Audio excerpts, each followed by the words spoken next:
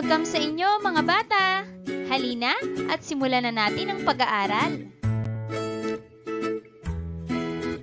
Magandang araw muli sa inyo mga bata! Kamusta kayo? Nagagalak ako at ngayon ay nasasabi mo na ang ngalan ng araw sa isang linggo at ngalan ng buwan sa isang taon. Gawin mo ito araw-araw para mas madali mong mabibigkas kung ano ang araw kahapon, ngayon, at bukas. Ngayon, para sa ating bagong aralin,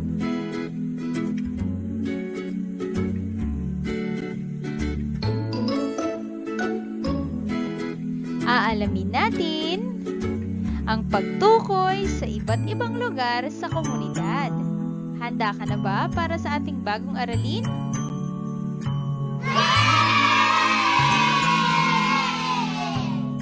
Magaling! Halina't simulan na natin. Mga bata, balikan natin sa nakaraang aralin ang mga lugar sa ating komunidad. Naaalala niyo pa ba ito? Pangalanan mo ang mga lugar na ito.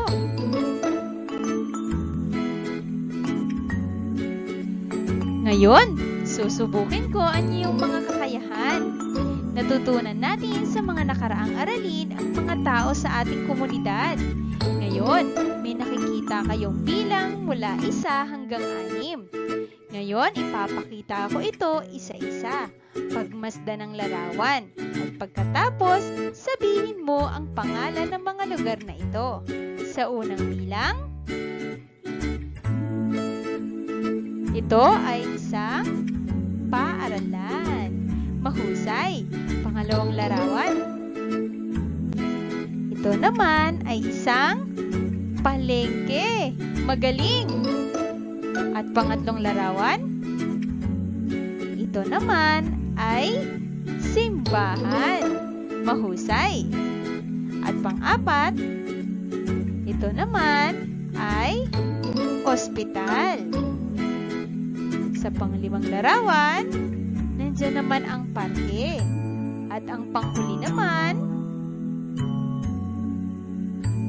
ay palaruan. Nakapunta na ba kayo mga bata sa mga lugar na ito? Mahusay. Alam kong napuntahan nyo na ang mga ito minsan nung hindi pa nagkakaroon ng malawakang pandemya sa ating bansa. Ngunit huwag mag-alala at mapupuntahan yung muli ang mga lugar na ito.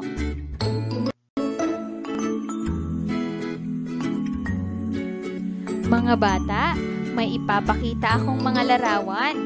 Sabihin kung saang lugar sa komunidad makikita ang mga ito. Mga bata, natutukoy mo ba ang larawang ito? Dito ay kung saan makikita ang maraming bilihin at marami rin ditong namimili. Ito ay palengke. Mahusay. Natutukoy mo ba ang larawang ito? Dito ay kung saan maaari tayong makapakinig ng mga salita ng Diyos. Ito ay simbahan.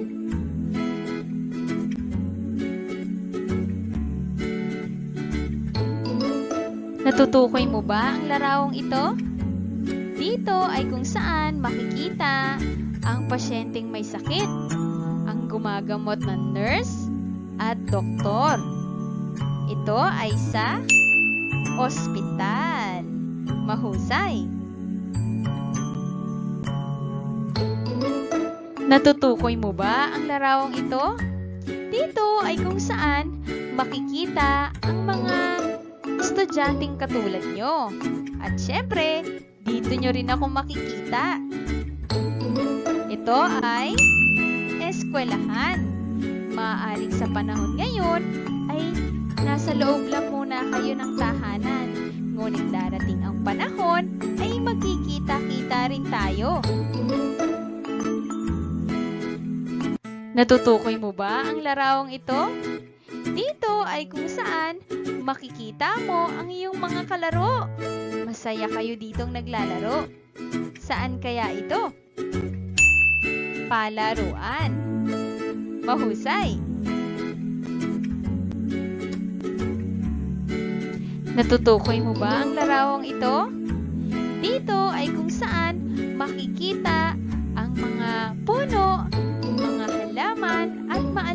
maaliwalas na lugar. Maaari tayo mag-ehersisyo at maglakad-lakad dito. Ito ay sa parke. Sana ay nakabisita rin kayo sa ating parke dito sa Marikina.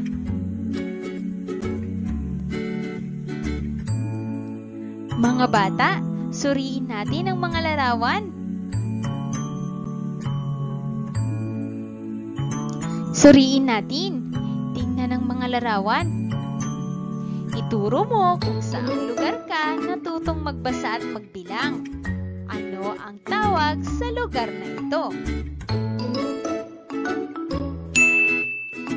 Magaling! Ito ay eskwelahan. Diyan ay matututo tayong magbasa, magsulat, magbilang at marami pang iba. Ngayon naman, ituro mo kung saang lugar ka nakapaglaro. Ano ang tawag sa lugar na ito? Magaling! Ito ay palaruan. Alam ko gustong gusto nyo sa lugar na ito dahil bukod sa masaya dito ay nakakasama nyo pa ang inyong mga kalaro.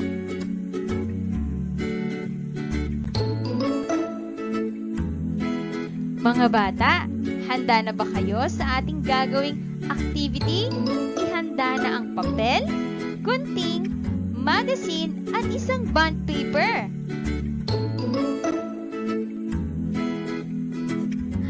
Ngayon, gumupit ng larawan ng pinakagusto mong lugar sa komunidad. Idikit sa isang papel at sabihin sa harap ng iyong magulang o guardian kung bakit mo ito pinili. Ngayon, magpapakita ako ng halimbawa. Halimbawa, ang ako napili ay ospital. Sasabihin nyo sa inyong mga magulang, napili ko, nanay, tatay, o lola, ang ospital.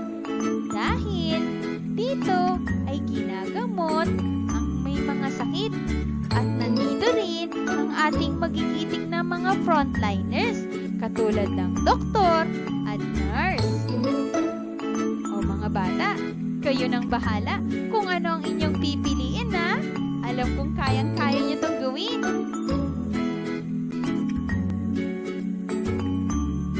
Mga bata, sagutin natin ang mga tanong na ito.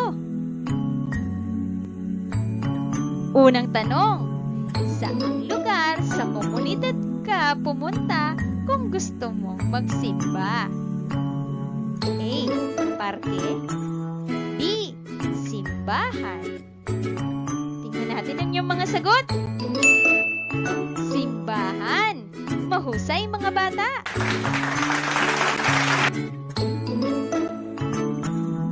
Pangalawang tanong, saang lugar sa komunidad ka matututong magbasa at magbilang?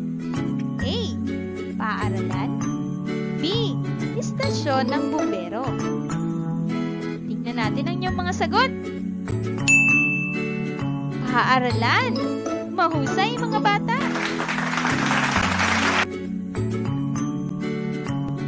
Pangatlong tanong, saang lugar sa komunidad ka magpapagamot? A. Hospital B.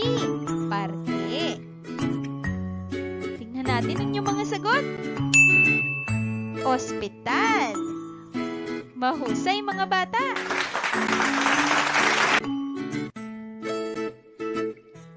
Pang-apat na tanong, paano mo iingatan ang mga lugar sa komunidad gaya ng parke, paaralan, at simbahan? A. Magkalat at magsira ng gamit. O B. Maglinis at ingatan ang mga gamit sa bawat lugar. Tingnan natin ang iyong mga sagot. Maglinis at ingatan ang mga gamit sa bawat lugar. Mahusay mga bata!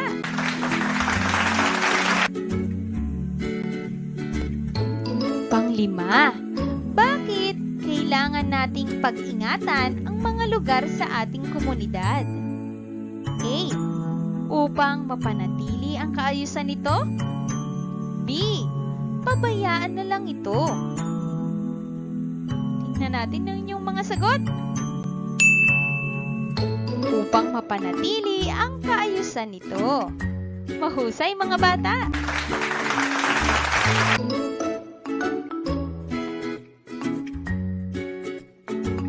Mga bata, sabihin sa iyong magulang o guardian ang mga pangalan ng mga lugar na ito sa ating komunidad. Mga bata, isagawa natin. Ngayon, sa unang bilang. Pangalawa. Pangatlo. At pang-apat. Nasabi nyo ba? Mahusay! Alam kong kayang-kaya nyo tong gawin. Mga bata, ngayong araw natutunan natin ang pagtukoy sa iba't ibang lugar sa komunidad. Ipagpatuloy ang pagsasanay. Gawin ito sa loob ng inyong tahanan. Dahil sa galing na iyong ipinakita ngayong araw, para sa iyo ang star na ito.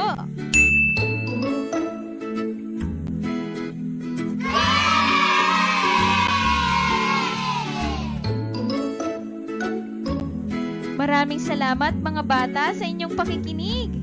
Hanggang sa muli mga bata, mag-aral mabuti at mag-ingat palagi. Paalam!